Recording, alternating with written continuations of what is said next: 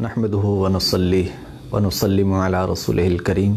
اما بعد فاعوذ بالله من الشیطان الرجیم بسم اللہ الرحمن الرحیم اجرائے منطق کو مناظرہ کورس میں ایک مرتبہ پھر ہم آپ کو خوش آمدید کہتے ہیں۔ آج ہمارے اس کورس کا یہ چوتھا ایپیسوڈ ہے۔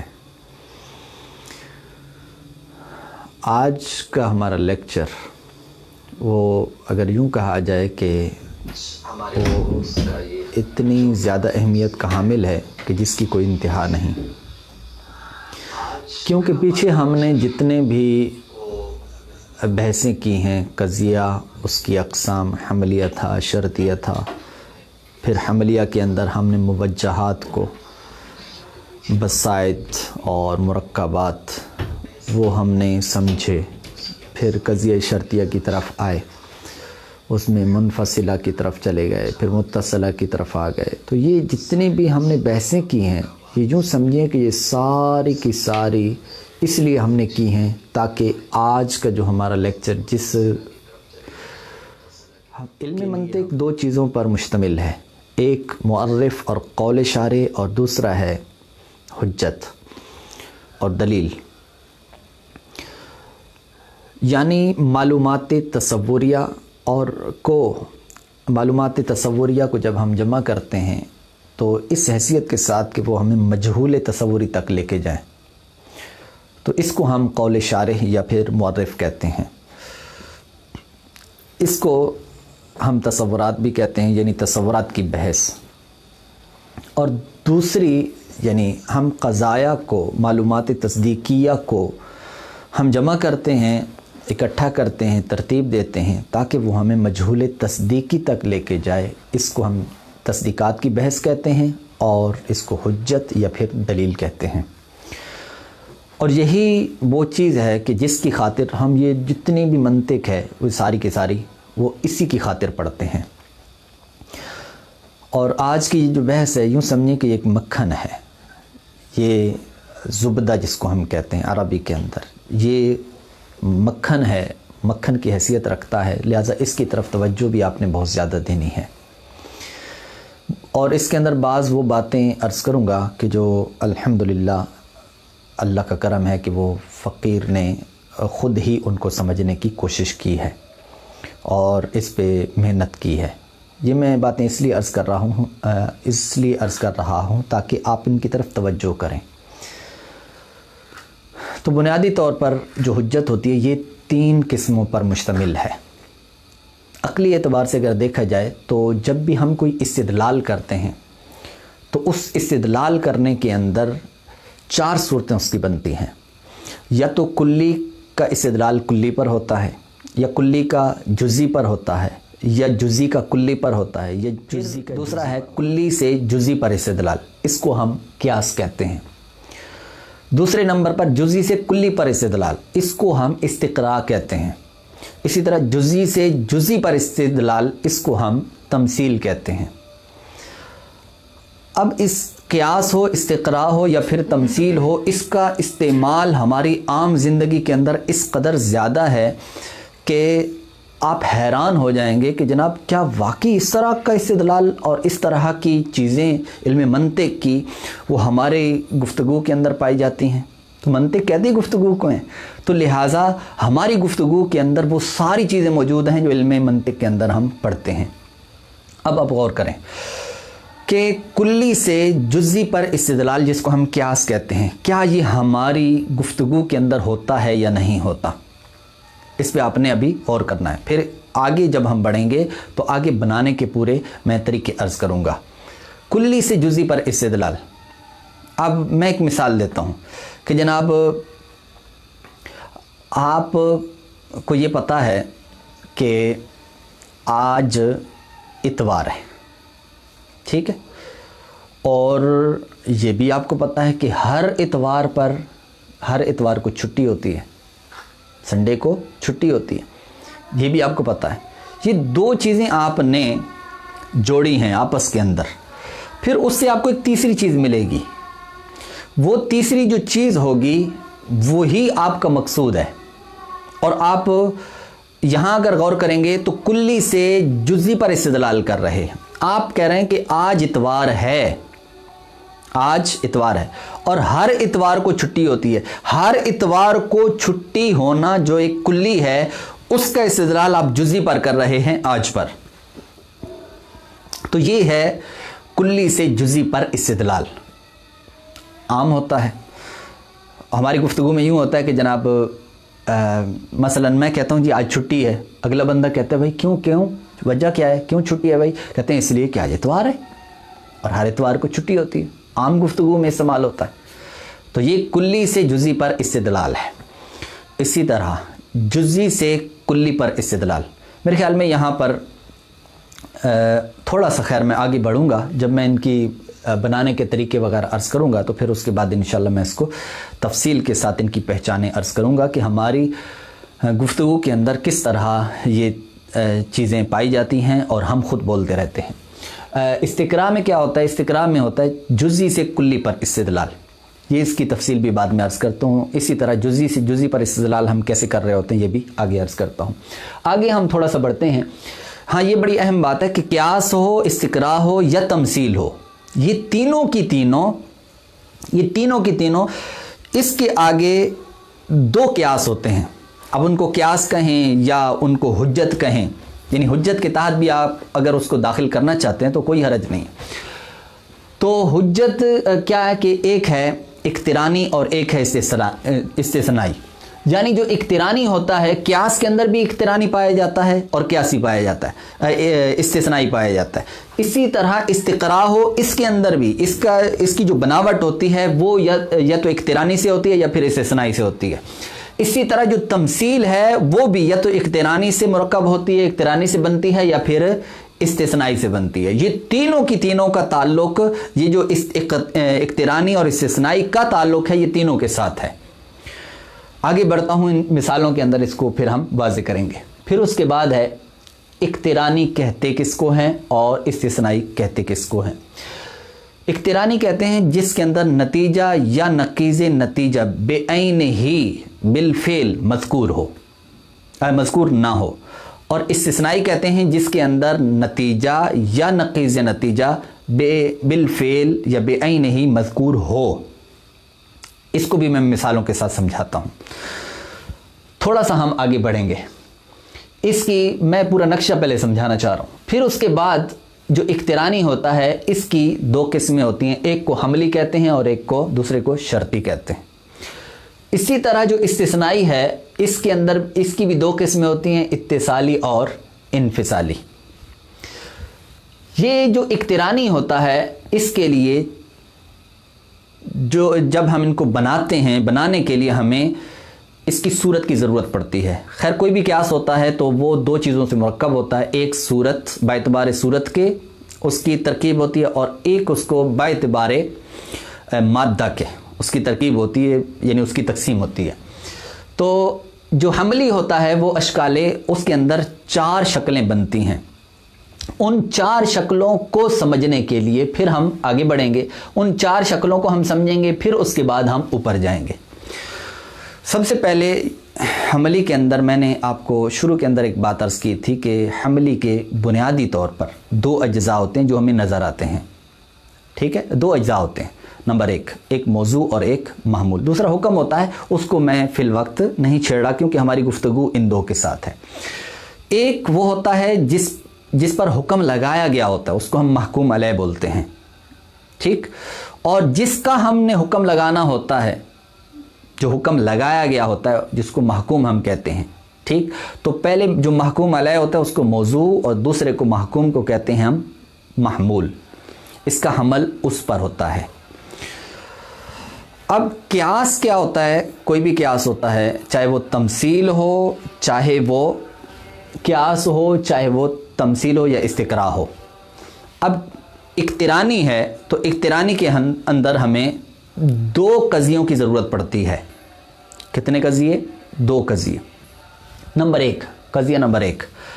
جو ایک قضیہ ہوتا ہے، اس کو ہم سغرا بولتے ہیں۔ اور جو دوسرا ہوتا ہے، اس کو ہم کبرا بولتے ہیں۔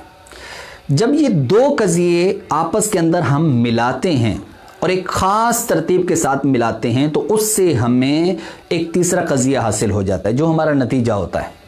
اب چاہے وہ قیاس ہو، چاہے وہ استقرا ہو، چاہے وہ تمثیل ہو۔ ان دو کو جو ہم ملاتے ہیں، تو اس کی صورت، اس کو جب ہم تھوڑا الگ الگ کرتے ہیں، ان کی، ان کے جز جز کرتے ہیں، اجزاء بناتے ہیں، تجزیہ کرتے ہیں۔ کیسے؟ کہ جو ایک ہوگا، اس کے اندر بھی موضوع محمول، جو دوسرا ہے، اس میں بھی موضوع اور محمول۔ یہ کل چار اجزاء ہو گئے، اور چار اجزاء میں سے ہر ایک جز کا نام ہے۔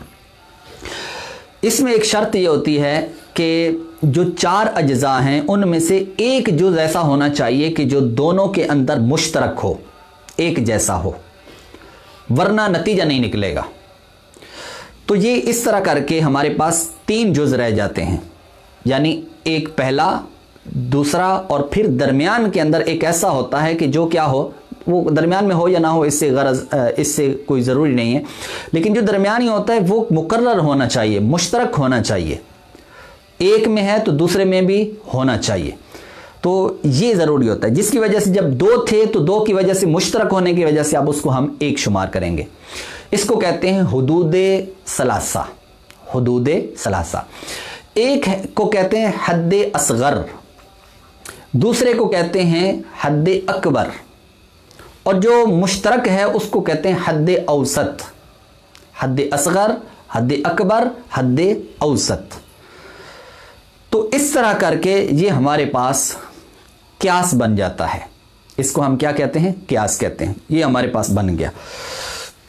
جب یہ بن جاتا ہے اچھا اب اس کو یہ ہم تقریباً اس کو کیاس کہہ رہے ہیں۔ ٹھیک ہے، وہ استقرا بھی ہو سکتا ہے، وہ تمثیل بھی ہو سکتا ہے، کیونکہ اقترانی یہ تینوں کو شامل ہے۔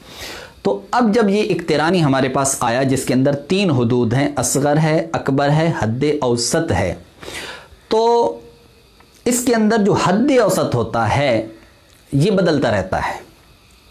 یہ کبھی کس جگہ پر ہوگا، کبھی کس جگہ پر ہوگا۔ ٹھیک؟ اب اس کی میں تھوڑی سی یہاں پر شکل کے ساتھ اس کی وضاحت کرنا چاہتا ہوں۔ جیسے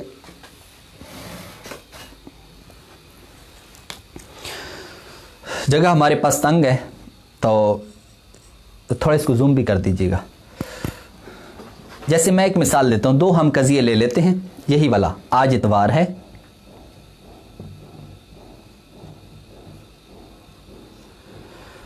ہر اتوار کو چھٹی ہوتی ہے۔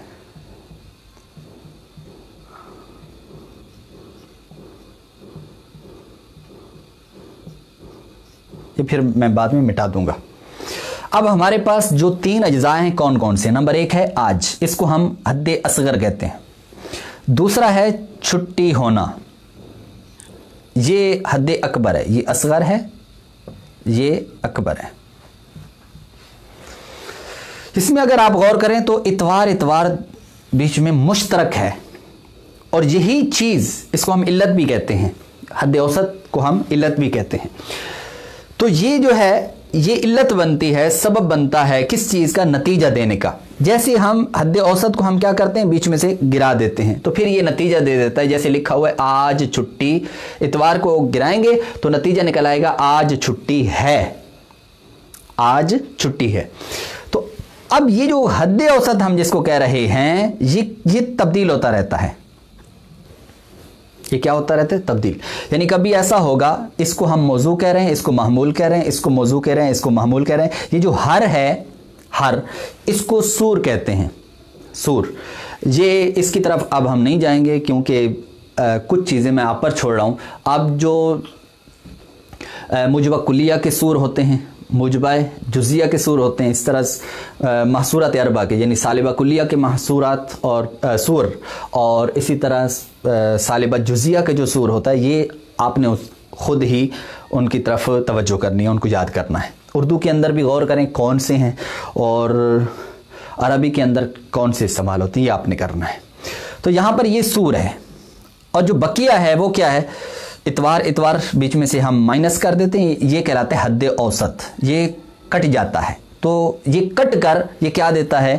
نتیجہ دیتا ہے کہ جناب آج چھٹی ہے۔ اب یہ جو آخر کے الفاظ ہوتے ہیں، یہ اپنے لحاظ سے آپ نے تبدیل کر لینے ہوتے ہیں مناسبت کے ساتھ۔ یہاں پر لکھے ہوئے ہوتی ہے۔ مثلا جو بچے ہیں الفاظ، وہ کون سے بچے ہیں؟ آج چھٹی ہوتی ہے۔ یہ مناسب جملہ نہیں ہے۔ آپ خود اس کو کیا کر دیں؟ آج چھٹی ہے۔ ٹھیک ہے، آج چھٹی ہے، یہ اس طرح کر دیں گے۔ خیر، یہاں تک جو ہماری گفتگو تھی وہ یہ تھی کہ اصغر ہے، اکبر ہے اور پھر درمیان کے اندر حد اوسط ہے۔ جو حد اوسط ہے، یہ تبدیل ہوگا۔ اب یہ تبدیل ہو کر کہاں کہاں آئے گا؟ اس کی چار صورتیں بنتی ہیں۔ یا تو ایسا ہوگا کہ حد اوسط حد اوسط سگرا کے اندر یہ سگرا کہلاتا ہے، یہ کبرا کہلاتا ہے۔ سگرا اس کو اس لیے کہتے ہیں کہ اس میں اصغر ہوتا ہے۔ کبرا اس کو اس لیے کہتے ہیں کہ اس میں اکبر ہوتا ہے۔ ٹھیک؟ تو اور اصغر یہ نتیجے کا موضوع ہوتا ہے، جو اکبر ہے وہ نتیجے کا محمول ہوتا ہے۔ تو جو اصغر ہے، اگر یہ جو حد اوسط ہے، یہ سغرا کے اندر موضوع ہو اور کبرا میں بھی موضوع ہو، تو اس کو کہتے ہیں شکل سالس اگر حد اوسط سغرا میں محمول ہو، کبرا میں بھی محمول ہو، تو اس کو کہتے ہیں شکل ثانی۔ پھر اگر یہ سغرا میں محمول ہو، کبرا میں موضوع ہو، جیسے یہاں پر ہے، اس کو کہتے ہیں شکل اول۔ اگر اس کا الٹ ہو یعنی سغرا میں محمول ہو اور کبرا میں موضوع ہو، تو پھر اس صورت کے اندر معذرت۔ سغرا کے اندر اگر یہ موضوع ہو اور کبرا کے اندر محمول ہو، تو پھر اس صورت کے اندر یہ شکلیں رابع بنتی ہے کل چار شکلیں ہمارے پاس۔ تو ان اشکال کی شرائط کیا ہیں اور کس طرح کون کون سی ان کی ضربیں ہیں جو نتیجہ دیتی ہیں، یہ بھی ہم آپ پر چھوڑیں گے۔ یہ آپ نے کرنی ہے ٹھیک ہے، ہم اجرا کی طرف چونکہ جا رہے ہیں، اس وجہ سے بقیہ چیزیں ہم آپ پر چھوڑ رہے ہیں۔ اب یہاں پر یہ جو صورتحال بنی ہوئی یہ شکل اول کی ہے۔ یہ کیا ہے؟ شکل اول کی ہے۔ اب یہاں پر بڑی اہم چیز کہ شکل اول کے بارے میں آپ نے ایک جملہ سنا ہوگا۔ کون سا؟ وہ یہ ہے کہ جناب شکل اول جو ہوتی ہے، یہ بدیہی الانتاج ہوتی ہے۔ یعنی اس کا جو نتیجہ ہوتا ہے، وہ بدیہی ہوتا ہے۔ واضح طور پر ہوتا ہے۔ آپ کہیں گے جناب ہم اس کا نتیجہ بدی ہی جو انتاج کیسے ہے؟ کیونکہ عام طور پر میں آپ کو یہ بھی اہم بات آپ کو عرض کر دوں کہ جو شکل اول ہے یہ خود بخود بنتی ہے۔ یہ آپ کو بنانے کی ضرورت نہیں پڑتی، کوئی تکلف کی حاجت ہی نہیں پڑتی۔ بقیہ جو تین ہوتی ہیں، ان کے لیے آپ کو تکلف کرنا پڑتا ہے۔ شکل اول بنانے کے لیے آپ کو کسی قسم کی کوئی کوئی تکلف نہیں کرنا پڑتا، جبکہ شکل ثانی سال سرابے کے اندر آپ کو ضرورت پڑتی ہے، تکلف کرنا پڑتا ہے کہ حد اوسط کو یہاں رکھو، حد اوسط کو یہاں رکھو۔ اب اس کی میں ایک دو مثالیں دیتا ہوں۔ پھر آگے بھی انشاءاللہ ہم بڑھتے ہیں۔ مثال یہ ہے کہ میں آپ سے پوچھتا ہوں کہ جناب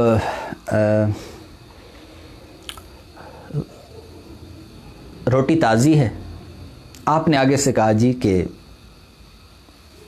آپ نے ہاتھ لگایا روٹی پر اور ہاتھ لگا کر آپ نے کہا جی تازی ہے۔ میں نے کہا، کیوں، کیسے؟ آپ اس پر استدلال کر رہے ہیں۔ وہ کیا؟ گرم ہونے پر کہ یہ یہ تازی ہے۔ آپ نے کہا، کیونکہ یہ گرم ہے۔ کیونکہ یہ گرم ہے۔ یہ شکل اول بن گئی ہے۔ کیا بن گئی ہے؟ شکل اول بن گئی۔ کیسے بنی؟ اس لیے کہ آپ یہ کہہ رہے ہیں کہ جناب، یہ گرم ہے اور ہر گرم تازی ہوتی ہے۔ یہ روٹی گرم ہے اور ہر گرم روٹی تازی ہوتی ہے، لہٰذا یہ تازی ہے۔ خود بخود بنی ہے۔ اس میں آپ اگر غور کریں تو حد اوسط جو اس کے اندر بن رہی ہے، کیونکہ آپ کہہ رہے ہیں کہ یہ یہ روٹی گرم ہے، گرم ہونا۔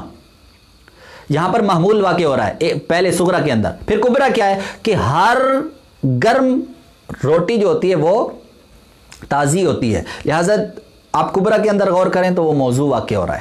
تو اس طرح کر کے یہ خود بخود شکل اول بنی، آپ نے کوئی تکلف نہیں کیا۔ میں نے کہا کہ جناب یہ پانی ٹھنڈا ہے، آپ نے کہا جی ٹھنڈا ہے آپ آپ نے کہا ٹھنڈا ہے۔ میں نے کہا کیوں؟ کہتے ہیں اس لیے کہ اس میں برف پڑی ہے۔ یا اس کے باہر پسینہ نکل آیا یعنی قطرے جو پانی کے بوتل کے آس پاس لگے ہوئے تھے۔ تو آپ نے کہا جی یہ ٹھنڈی ہے کیونکہ یہ باہر اس کے قطرے ہیں اور جب بھی باہر یہ قطرے ہوں تو پانی ٹھنڈا ہوتا ہے، لہٰذا یہ پانی ٹھنڈا ہے۔ خود بخود شکل اول پہ چلا گیا۔ میں نے کہا کہ باہر دھوپ ہے، تو آپ نے کہا جی باہر دھوپ نہیں ہے۔ باہر دھوپ نہیں ہے۔ تو میں نے کہا کیوں؟ کہتے ہیں اس لیے کہ بادل ہے۔ اور آگے کبرا یہ بنتا ہے کہ جناب جب بھی بادل ہوں تو دھوپ نہیں ہوتی۔ ٹھیک؟ یوں کر لیں کہ کیونکہ سورج کے آگے بادل ہیں اور جب بھی سورج کے آگے بادل ہوں تو دھوپ نہیں ہوتی، لہذا دھوپ نہیں ہے۔ تو دیکھیے، خود بخود یہ شکل اول بنتی جا رہی ہے۔ اس میں کوئی تکلف آپ کو نہیں کرنا پڑتا۔ بقیہ جو تین ہیں، ان کے اندر آپ کو تکلف کرنا پڑے گا۔ اپنی مرضی سے آپ نے حد اوسط بنانا پڑے گا رکھنا پڑے گا۔ اب ذرا واپس چلتے ہیں۔ کیا سے اقترانی استثنائی؟ اس کی سب سے پہلے میں پہچان عرض کرتا ہوں اور پھر اس کے بعد ہم یہاں اس کی پہچان عرض کریں گے۔ اشکال اربا ہماری یہیں پر یعنی شکل اول میں نے آپ کو بتا دی ہے، شکل ثانی سالس رابع وغیرہ کے بارے میں آپ ان کی جو شرائط ہیں، ان کی جو مثالیں ہیں، یہ ساری کی ساری آپ اپنی کتاب کے اندر دیکھ لیجیے گا۔ شکل اول زیادہ استعمال ہوتی ہے اس وجہ سے میں شکل اول کو ہی میں نے بیان کیا ہے۔ اس کی جو شرائط ہیں وہ میں آپ کو عرض کر دیتا ہوں۔ یہ ہے کہ اس کے اندر شرط یہ ہوتی ہے کہ ایجاب سغرا یعنی سغرا کا مجبہ ہونا اور کلیت کبرا یعنی کبرا کیا ہونا چاہیے وہ وہ کلیہ ہونا چاہیے۔ کبرا کلیہ ہونا چاہیے۔ ایک اور جہت کے اعتبار سے بھی اس میں شرط ہوتی ہے۔ وہ ہے فیلیت سغرا فیلیت سغرا فیلیت سغرا کا مطلب یہ ہے، میں سمجھانے کے لیے عرض کر رہا ہوں۔ جیسے میں کہوں کہ جیسے کہا آج اتوار ہے، ہر اتوار کو چھٹی ہوتی ہے۔ تو آج اتوار ہے، اتوار کا ہونا بالفعل پایا جائے۔ اتوار کا ہونا بالفعل۔ آگے ہم بڑھتے ہیں۔ سب سے پہلے ہے کیاس اس کی پہچان عرض کرتا ہوں، استقرا اور پھر تمثیل۔ اب یوں سمجھیے کہ میں یہ کہہ سکتا ہوں آپ کو کہ سب کچھ چھوڑ چھاڑ دیں ان کو سمجھنے کے لیے۔ کیاس کس کو کہتے ہیں؟ آسان الفاظ میں یوں سمجھیے کہ دو اور دو چار کو کیاس کہتے ہیں۔ اس کا جو نتیجہ ہوتا ہے، قطعی ہوتا ہے۔ اس کا نتیجہ ایسا ہوتا ہے کہ جس میں تخلف نہیں ہوتا۔ یہ جو عام طور پہ ہم گفتگو کر رہے ہوتے ہیں نا، کہ جناب یہ کوئی ضروری تو نہیں ہے۔ یہ کوئی ضروری تو نہیں ہے۔ جو اس طرح کی آپ باتیں کرتے ہیں، اس کا مطلب یہ ہوتا ہے کہ وہاں قطعیت نہیں پائی جاتی۔ میں آپ بھی مثالیں دیتا ہوں، پھر آپ کو اس کی طرف آؤں گا۔ ٹھیک ہے؟ جیسے ہم یہ کہتے ہیں نا، اگر سورج طلوع ہوا تو دن موجود ہے۔ دن موجود ہوگا۔ یہ بالکل قطعی نتیجہ ہے۔ اس میں لزوم کا علاقہ پایا جا رہا ہے۔ بالکل قطعی ہے۔ تو اسی طرح جو کیاس ہوتا ہے کیاس کے اندر کیا ہوگا؟ نتیجہ ہمیشہ قطعی نکلے گا۔ آگے پیچھے نہیں ہو سکتا۔ ٹھیک ہے؟ اچھا کیاس تو یہ ہو گیا۔ اب استقرا کہاں پائے جاتے؟ تمثیل کہاں پایا جاتا ہے استقرا۔ استقرا جناب آپ کہتے ہیں کیاس کی میں آگے بھی وضاحت کرتا ہوں۔ استقرا کی پہچان کیا ہے؟ ہماری گفتگو میں کہاں پایا جاتا ہے؟ اچھا کیاس جو ہوتا ہے نا، جہاں پر بھی آپ استدلال کریں گے جہاں پر بھی استدلال کریں گے، وہاں پر علم منطق موجود ہوگا۔ یہ جملہ میں پہلے کہہ چکا ہوں۔ آپ اگر یہ معلوم کرنا چاہتے ہیں کہ جناب، میں نے پوری گفتگو کی اس میں کہاں منطق ہے؟ یا قرآن پاک میں کہاں پر منطق کا استعمال ہے؟ یا حدیث کے اندر کہاں منطق کا استعمال ہے؟ کسی لیکچرار کی جو گفتگو ہے، اس کے اندر منطق کہاں استعمال ہوئی ہے؟ اس کو اگر آپ جانچنا چاہتے ہیں تو ایک جملے کے اندر سمجھ لیں کہ جہاں پر بھی وہ استدلال کرے گا، وہاں منطق ہوگی۔ جہاں استدلال ہوگا، وہاں علم منطق ہوگا۔ لہٰذا جو مقامات ایسے ہیں جہاں پر استدلال ہے، وہاں پر منطق کا استعمال ہے۔ اب چاہے وہ آپ کی گفتگو ہے یا اس کے علاوہ مختلف قسم کے چاہے وہ آرٹیکل ہیں، چاہے وہ کسی اور کی تحریر ہے، کچھ بھی ہے، اس کے اندر استدلال ہے، منطق ہے۔ اب ہم دیکھتے ہیں کہ جناب کیاس ہماری زندگی کے اندر، ہماری گفتگو کے اندر کس قدر استعمال ہوتا ہے۔ استدلال جہاں پر بھی آئے گا، آپ نے اب اس کی پہچان کرنی ہے کہ جناب، وہ کیاس ہے استقرا ہے یا پھر تمثیل ہے۔ میں دو چیزوں کو بیان کیاس کا بتا دیا قطعی نتیجہ ہوتا ہے استقرا کا عرض کر دوں۔ استقرا میں جہاں پر بھی اکثر کی بات ہوتی ہے، کیونکہ چلو پہلے میں ویسے وہ آپ کو عرض کر دیتا ہوں، جس طرح ہمارے ہاں مثالیں دی جاتی ہیں کہ جناب دیکھا جاتا ہے کہ بہت ساری پہلے جزیات کو جمع کیا جاتا ہے، پھر ان جزیات کو جمع کرنے کے بعد دیکھتے ہیں کہ ان کے اندر یہ حکم پایا جاتا ہے، تو ہم یہ والا حکم کلی پہ لگا دیتے ہیں۔ جیسے مثال دی جاتی ہے کہ جناب جو جاندار ہوتے ہیں، وہ جب کھاتے ہیں تو ان کا جو جبڑا ہوتا ہے، وہ نیچے والا جبڑا ہلاتے ہیں۔ اوپر چباتے وقت وہ نیچے والا جبڑا ہلاتے ہیں، اوپر والا نہیں ہلاتے۔ تو اکثر ہم نے جاندار کو دیکھا، جانوروں کو دیکھا، تو ان کے اندر یہی چیز تھی کہ وہ جب بھی کھاتے ہیں، نیچے والا جبڑا ہلاتے۔ ہم نے حکم لگا دیا کلی کا۔ کیا؟ کہ جو بھی جاندار ہے، کھاتے وقت، چباتے وقت وہ نیچے والا جبڑا ہلاتا ہے۔ اب اکا دکا کوئی اگر جزئیات بیچ میں سے خارج ہو بھی جاتی ہیں، تو تب بھی اس پہ فرق نہیں پڑے گا۔ بس اتنا کہنا ہمارا کافی ہوگا کہ جناب، یہ اس سے حکم حکم ضن غالب کا حاصل ہوگا۔ اس سے کیا حاصل ہوگا؟ ضن غالب۔ حکم حکم ایسا ہوگا جو ضنی ہوگا لیکن غلبہ زن کا ہوگا۔ اور جو قیاس ہوتا ہے، اس میں قطعی حکم حاصل ہوتا ہے۔ یہ مثالوں سے ابھی پتہ چلتا ہے۔ پھر تیسری، تمثیل۔ تمثیل کیا ہوتی ہے؟ اچھا استقرا کی اب بہت ساری میں آپ کو پہچانے عرض کرتا ہوں کہ کہاں کہاں ہماری گفتگو کے اندر استقرا پایا جاتا ہے۔ دیکھیے، چلتے چلتے آپ نے ایک شخص کو دیکھا۔ ٹھیک ہے، ایک شخص کو دیکھا۔ اس کی مونچھیں نہیں تھی اس کے پانچے پتہ نہیں کہاں تک پہنچے ہوئے تھے۔ اس کا سر بھی منڈا ہوا تھا۔ آپ نے کہا یہ وہ ہے۔ یہ وہ ہے، اس کا نام لے لیا، جو بھی تھا۔ وہ ہے۔ اچھا اب یہ جو آپ نے بولا نا، یہ اصل کے اندر استقرائی حکم ہے۔ کیا مطلب ہے؟ مطلب یہ ہے کہ جب جس کسی کی یہ یہ علامتیں ہوتی ہیں، ہم نے اکثر جزیات کو دیکھا ہے کہ وہ یہ لوگ ہوتے ہیں۔ جن کی یہ یہ علامتیں ہوتے ہیں، اکثر ہم نے دیکھا ہے کہ وہ یہ لوگ ہوتے ہیں۔ لہٰذا یہ وہ ہے۔ اقترانی پہ چلا گیا۔ کس میں چلا گیا؟ اقترانی میں چلا گیا۔ کہ یہ شخص اس شخص کے اندر یہ علامتیں پائی جاتی ہیں اور جس شخص کے اندر یہ علامتیں پائی جائیں وہ یہ ہوتا ہے، لہٰذا یہ وہ ہے۔ ٹھیک ہے؟ بات سمجھ میں آ رہی ہے؟ اشارہ کافی ہے۔ اچھا پھر اس کے بعد آپ دیکھتے ہیں۔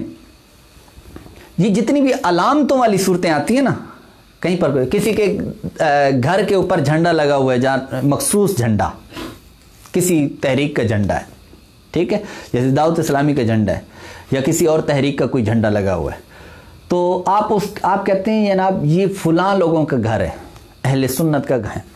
ان لوگوں کے گھر پر یہ جھنڈا لگا ہوا ہے اور جن کے گھر پر ایسا جھنڈا لگا ہو، وہ یہ ہوتے ہیں، اہل سنت ہوتے ہیں۔ لہٰذا یہ لوگ کیا ہیں؟ اہل سنت۔ ہیں یہ گھر والے اہل سنت والے ہیں۔ شکل اول بنی ہے، وہی ایجاب سغرا کلیت کبرا سب کچھ بنا ہے۔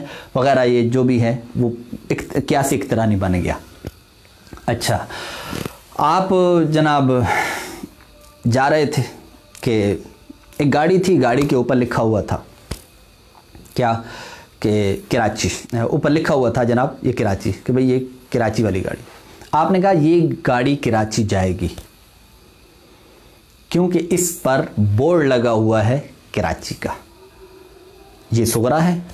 اور جس گاڑی پر یہ بورڈ لگا ہوتا ہے کراچی کا تو وہ کراچی جاتی ہے۔ لہذا یہ گاڑی کراچی جائے گی۔ شکل اول ہے، اقترانی ہے اور پھر اس کے بعد استقرا ہے۔ یہ کیاس نہیں ہے، یہ استقرا ہے۔ کیوں؟ اس لیے کہ ممکن ہے ممکن ہے کہ یہ اس نے عارضی طور پر لگا دیا ہو، بھولے سے لگا دیا ہو۔ تخلف تو ہے نا اس میں، لیکن اکثر جزیات ہم دیکھتے ہیں تو وہ ایسا ہی ہوتا ہے کہ جناب اس طرح کے جس پہ بورڈ لگا ہوتا ہے وہ گاڑی ادھر ہی جاتی ہے۔ تو یہ استقرائی حکم ہے۔ کتنا زیادہ استعمال ہوتا ہے اس کا؟ اسی طرح آپ ایک مسجد دیکھتے ہیں، اس کے اوپر جناب مخصوص ایک یا اللہ یا رسول اللہ لکھا ہوا ہے۔ آپ نے کہا جی اہل سنت کی مسجد ہے۔ کیوں ہے؟ کہا اس لیے کہ اہل سنت کی مسجد ہے کیونکہ اس کے اوپر یا رسول اللہ لکھا ہوا ہے اور جس مسجد پر یا رسول اللہ لکھا ہو، وہ اہل سنت کی ہوتی ہے، لہذا یہ مسجد اہل سنت کی ہے۔ یہ استقرائی حکم ہے۔ ممکن ہے، کیونکہ لوگ آج کل ہیں کہ وہ جناب مسجد پر قبضہ کر لیتے ہیں، قبضہ کر لیتے ہیں۔ اور مار دھرا اور پتہ کیا کچھ چل رہا ہے سب کچھ۔ تو وہ جناب قبضہ کر لیں، اور ابھی انہوں نے وہ مٹایا نہ ہو۔ یا کچھ لوگ ایسے ہوں جو ان کو مٹانے نہ دے رہے ہوں، لیکن قبضہ ان کا ہو۔ تو تخلف کی صورت ہے، لیکن اکثر ہم جو زیاد دیکھتے ہیں تو ایسا ہی ہوتا ہے۔ لہٰذا اس میں غلبہ زن پایا جائے گا۔ یہ اقترانی کی میں آپ کو مثال دے رہا ہوں۔ ٹھیک ہے؟ ابھی ہم استثنائی کی طرف نہیں جا رہے۔ استثنائی کی طرف ہم جائیں گے، کس طرح قضیے بناتے ہیں، تو وہ انشاءاللہ میں آپ کو اس وقت عرض کروں گا۔ یا اسی کے ضمن کے اندر آپ کو یہ بات بھی عرض کر دوں کہ ہم اقترانی کہاں کہاں استعمال کر رہے ہوتے ہیں۔ اقترانی کہاں کہاں استعمال کرتے ہیں۔ اب آپ خود اپنے جو جو سن رہے ہیں نا، یا آئندہ سنیں گے، میں آپ سے گزارش کر رہا ہوں کہ آپ جہاں پر بھی استدلال کریں گے نا، وہاں غور کیجیے گا، اکثر طور پر کیا سے اقترانی بن رہا ہوتا ہے؟ اکثر طور پر۔ آپ نے کہا کہ سامنے فرش کو دیکھا تو فرش گیلا تھا۔ صبح اٹھے نا آپ نے تو باہر دیکھا تو فرش گیلا۔ تو اب واپس آئے، آپ نے کہا، ابو جی آج بارش ہوئی ہے۔ استدلال ہے آپ کا۔ بارش ہوئی ہے، یہ دعویٰ ہے آپ کا۔ بیٹی، کیسے؟ ابو فرش گیلا ہے۔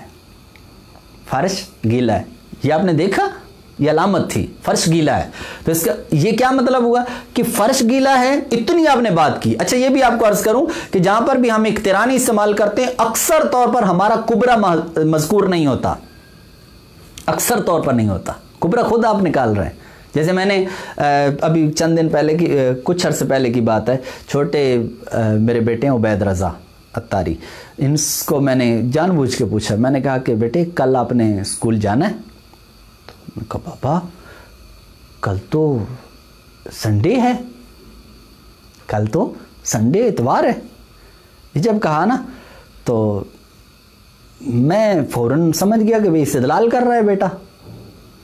یعنی اس کا دعویٰ یہ ہے، میں نے یہ کہا کہ کل اسکول جانا کا یہ دعویٰ تھا کہ کل چھٹی ہے۔ نے کہا کل اسکول جانا، انہوں نے کہا کل اسکول نہیں جانا۔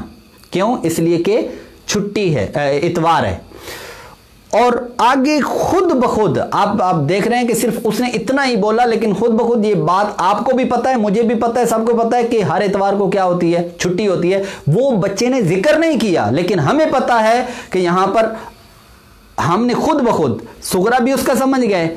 کبرا بھی سمجھ گئے۔ اس میں حد اوسط جو بن رہا تھا محمول سگرا میں، اور کبرا کے اندر موضوع بن رہا تھا۔ وہ ہم نے گرایا بھی ہے، اس سے نتیجہ بھی اخذ کر کے نتیجہ اخذ کر کے، وہ بیٹا بھی بیٹھا ہوا ہے میں بھی بیٹھا ہوں۔ وہ بھی سمجھ گیا ہے، میں بھی سمجھ گیا ہوں۔ منطق استعمال ہو گئی کیا سے اقترانی ہو گیا، شکل اول ہو گئی، ایجاب سغرا ہو گیا، کلیت کبرا ہو گیا، سب کچھ ہو گیا۔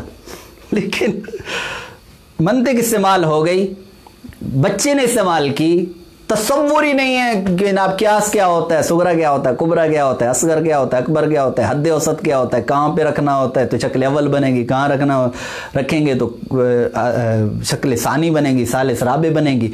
کچھ بھی تصور نہیں، لیکن اس کے باوجود بچہ تھا، منطق استعمال کر گیا۔ مجھے پتا ہے، خود بخود یہاں پر میں نے نکال لیا۔ کیا؟ میں نے جان بوجھ کے پوچھا بھی صحیح۔ وہ کیا؟ میں کہا، بیٹے، کل اتوار ہے تو کیا وہ بابا، اتوار کو چھٹی ہوتی ہے۔ بابا، اتوار کو چھٹی ہوتی ہے۔ یعنی ہر اتوار کو چھٹی ہوتی ہے۔ ہر اتوار کو چھٹی ہوتی ہے۔ پورا اخترانی بن گیا۔ اچھا اور میں آپ کو چند ایک مثالیں دوں تاکہ آپ کو پتہ چلے کہ کس طرح ہمارے ہاں کیسے اخترانی استعمال ہوتا ہے۔ عام استعمال ہوتا ہے۔ کیا میلاد منانا گمراہی ہے؟ کچھ لوگ ہیں وہ اس طرح بولتے ہیں۔ میلاد منانا کیا ہے؟ جی گمراہی۔ اچھا جی گمراہی ہے۔ تو کیوں بھائی؟ کہتے ہیں اس لیے کہ یہ بدعت ہے۔ اس لیے کہ بدعت ہے۔ بس اتنی استدلال اتنی کرنا تھا۔ دلیل اس نے دے دی۔ اور دلیل کے لیے یاد رکھیے، دو قضیوں کا ہونا ضروری ہے۔ سگرا بھی ضروری ہے، کبرا بھی ضروری ہے۔ اب ایک تو موجود ہے، دوسرا کہاں ہے؟ وہ مذکور نہیں ہے۔ کیا؟ کہ ہر بدعت گمراہی ہوتی ہے۔ مستدل تھا مدعی تھا، دعویٰ کیا، دلیل دی، خاموش ہو گیا۔ لیکن آپ کے ذہن میں ہو سکتا ہے یہ سوال پیدا ہو، بلکہ اکثر آپ کو یہ دلچسپی بھی محسوس ہوگی کہ جب ہم شروع کے اندر علم منطق پڑھاتے ہیں تو علم منطق پڑھاتے ہیں تو اس کے اندر حاجت المنطق جب بیان کی جاتی ہے، اساتذہ کرام بیان کرتے ہیں، تو وہاں دو چیزیں ہوتی ہیں۔ کیا ایک ہوتا ہے آپ سمجھاتے ہیں کہ بھئی دو فکریں نظر و فکر صحیح نتیجے تک پہنچائے، یہ ضروری نہیں۔ بلکہ کیا سے اقترانی کے استثنائی کے طور پر ہم یوں کہتے ہیں کہ اگر ہر نظر و فکر صحیح نتیجے تک پہنچاتی، صحیح ہوتی، تو اوقلا کے مابین تضاد نہ ہوتا۔ اختلاف نہ ہوتا۔ لیکن اس سے سنا لیکن اختلاف واقع ہو چکا ہے، لہذا ہر نظر و فکر صحیح نہیں ہوتی۔ سمجھاتے ہیں ہم؟ مثال مثال دیں بھائی۔ انہوں نے کہا، اتنا بڑا آپ کو ایک چھوٹی سی مثال تھوڑی، بڑی بڑی کو مثال دیتے ہیں۔ اچھا کون سی مثال دینی ہے بھائی آپ نے؟ دیکھو، ایک کہہ رہا ہے جی عالم حادث ہے۔ عالم حادث ہے۔ سارے افراد اس کے کیا ہیں؟ حادث ہیں۔ اس لیے کہ اب اب استدلال دیکھیے، منطق استعمال ہو رہی ہے۔ انہوں نے کہا اس لیے کہ یہ متغیر ہے، ہر متغیر حادث ہوتا ہے۔ دوسرا کہتے ہیں، نہیں، عالم قدیم ہے۔ دلیل کیا ہے بھائی؟ کہتے ہیں اس لیے کہ یہ مستغنی انل مؤثر ہے اور ہر وہ جو مستغنی انل مؤثر ہو، یہ منطق ایسے قوانین کا نام ہے کہ اگر ان کی رعایت کریں تو یہ رعایت کرنا ہمیں کیا کرے گا؟ ہمیں خطا فی الفکر سے بچائے گا۔ اب سوال یہ ہے کہ جناب خطا فی الفکر سے یہ بچاتی ہے تو ایک تو ایسا ہے منطق استعمال کر کے وہ کہہ رہا ہے عالم حادث ہے اور دوسرا منطق استعمال کر کے کہتا ہے جی عالم حادث نہیں ہے۔ دیکھو شکل اولی بن رہی ہے۔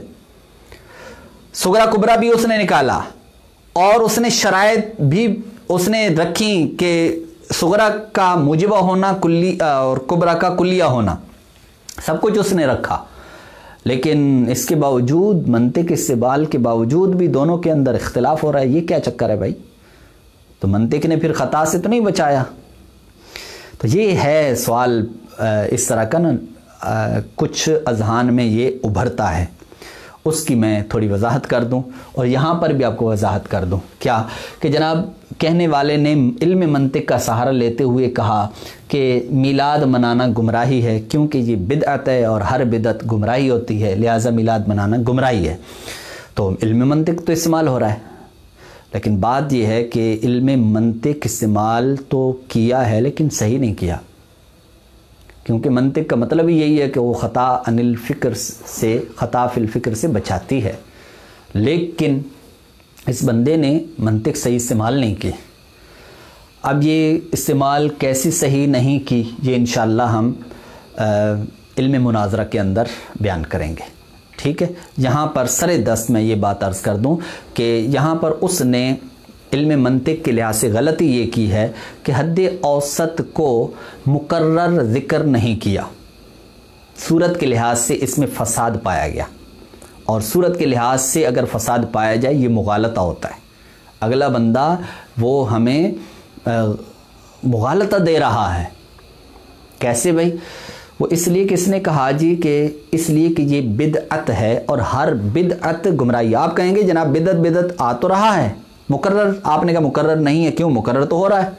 نہیں، یہی سمجھنے کے اندر غلطی واقع ہو جاتی ہے۔ بات یہ کہ یہاں پر مقرر اس لیے نہیں ہے کہ اس نے کہا میلاد منانا اس لیے کہ یہ بدعت ہے یعنی میلاد منانا بدعت ہے۔ یہ جو بدعت بولا ہے، یہ بدعت سے مراد بدعت حسنہ ہے۔ اور حدیث کے اندر جو وارد ہے، کلو بدعت دلالت وہاں پر بدعت سے مراد بدعت سیاح ہے۔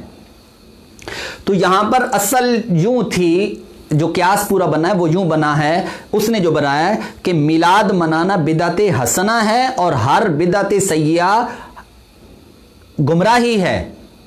تو یہاں بدعت بدعت تو ہے لیکن بدعت حسنہ اور بدعت سیاح یہ الگ الگ ہیں۔ تو لہٰذا حد اوسط جو تھا، مقرر نہیں ہوا۔ اس لیے اس منطق نے ہمیں اس گمراہی سے بچایا۔ اور وہ لوگ جن کو منطق نہیں آتی وہ گمراہی میں پڑ گئے۔ ٹھیک ہے؟ تو اور اس کی مثالیں لیں، کیا اقترانی کی؟ حضور علیہ السلاۃ والسلام کا سایہ نہیں تھا۔ ایک شخص ہے، وہ دعویٰ کرتا ہے۔ حضور کا سایہ نہیں تھا۔ اچھا یہ شفا شریف کے اندر میں نے عبارت پڑھی۔ تو آگے لکھا ہوا تھا، حضور کا سایہ نہیں تھا۔ کہتے ہیں، وجہ کیا ہے؟ لِأَنَّهُ نُورٌ۔ لِأَنَّهُ نُورٌ۔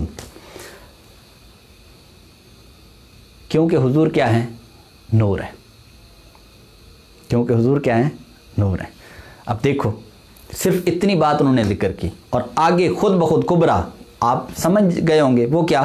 کہ کبرا یہ بنتا ہے کہ ہر نور کا سایہ نہیں ہوتا، حضور کا سایہ نہیں۔ حضور حضور کا سایہ نہیں تھا، اس لیے کہ حضور نور ہیں اور ہر نور کا سایہ نہیں ہوتا، اس وجہ سے حضور کا سایہ نہیں ہے۔ کیسے اخترانی عام استعمال ہمارے علماء کرام، اساتذہ کرام جو تدریس فرماتے ہیں۔ طالب علم کو کہتے ہیں ہاں جی عبارت پڑھو۔ اچھا انہوں نے عبارت پڑھنی شروع کر دی۔ ایک مقام پہ پہنچا، مثال کے طور پر اس نے کہا جی قام زیدن۔ سمجھانے کے لیے کہہ رہا ہوں۔ قام زیدن منصوب پڑھ دیا۔ پڑھنا مرفوع تھا، منصوب پڑھ دیا۔ آپ نے پوچھا ہاں بھائی کیوں؟ کیوں؟ وہ آگے سے کہتے ہیں سب اس لیے کہ یہ مفعول ہے، مفعول بھی ہے۔ ٹھیک ہے؟ تو یہ اس نے جو کیا نا، اگرچہ غلط کیا ہے، لیکن اس نے کیا سے اقترانی سے استدلال کیا ہے؟ غلط کیا ہے، لیکن کس سے استدلال کیا ہے؟ کیا سے؟ اقترانی سے۔ کیا سے اقترانی سے کیسے کیا ہے؟ اس نے کہا، اس لیے کہ یہ منصوب ہے، اس لیے کہ یہ مفعول ہے، مفعول بہی ہے، اور ہر مفعول بہی منصوب ہوتا ہے، لہذا یہ منصوب ہے۔ اس کا دعویٰ، اس نے خود جو پڑھا تھا نا، وہ منصوب کہہ کر کہا تھا۔ یعنی اس کا دعویٰ تھا کہ حضور، وہ استاد کو کہہ رہا حضور یہ منصوب ہے۔ اس لیے کہ یہ مفول بہی ہے، یہ دعویٰ تھا، اور سغرا یہ ہے، اس لیے کہ یہ مفول بہی ہے، یہ سغرا ہے، اور کبرا یہ ہے، ہر مفول بہی منصوب ہوتا ہے، لہٰذا یہ کیا ہے؟ منصوب ہے۔ دیکھو، اپنا نتیجہ اس نے نکالا۔ یا وہ یوں کہتا ہے، طالب علم قابل تھا، سمجھدار تھا، سادہ سی عبارت تھی، تو اس نے کہا جی کہ اس، کیونکہ اس سب فائل ہے، قامہ کا یہ کیا ہے؟ فائل ہے۔ بس اتنی بات اس نے کی۔ استاد بھی خاموش ہو گئے، وہ بھی۔ اب یہاں کیسے اقترانی بن گیا سغرا کبرا آ گیا، شکل اول بن گئی جاب سغرا کلیت کبرا، سب کچھ ہو گیا۔ استاد بھی سمجھ گئے، طالب علم بھی سمجھ گئے۔ کیا بھائی؟ انہوں نے کہا اس لیے کہ یہاں پورا کیاس یوں بنتا ہے۔ صاحب یہ اس نے جو پڑھا نا، یہ دعویٰ تھا۔ زیدن پڑھا، یہ دعویٰ تھا۔ دعویٰ کیا تھا؟ کہ استاد صاحب، یہ مرفوع ہے۔ زیدن مرفوع ہے۔ کیوں بھائی؟ اس لیے کہ یہ فائل ہے اور ہر فائل وہ یہاں اس نے ذکر نہیں کیا، لیکن وہ ہمیں پتہ چل گیا۔ استاد کو بھی پتہ چل گیا، سب کو پتہ چل گیا۔ ہر فائل کیا ہوتا ہے وہ؟ مرفوع ہوتا ہے، اس وجہ سے مرفوع ہے۔ کیا سے کتنا نہیں ہو گیا؟ اچھا اور مثالیں سنیے۔ آج بارش برسی ہے۔